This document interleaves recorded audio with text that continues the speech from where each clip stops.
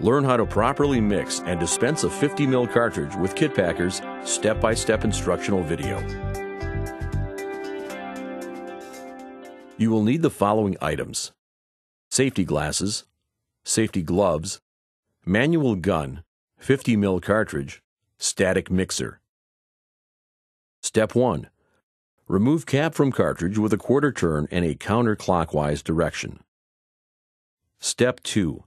Attach static mixer by turning a quarter turn in a clockwise direction. Step 3. Load cartridge into the manual gun by placing the cartridge into the cartridge holding tab. Lock the cartridge in place by lifting the cartridge holding tab back to secure the cartridge in place. Step 4.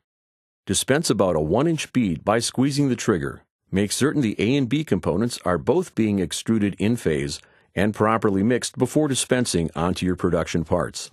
Some materials will have contrasting colors that make it easier to indicate a good mix, but most will not. Therefore, the 1 inch purge will be important. Step 5. To remove the cartridge, press the release button and pull back the plunger and remove the cartridge. You can allow the material to cure and seal the end of the cartridge then remove and discard the old mixer.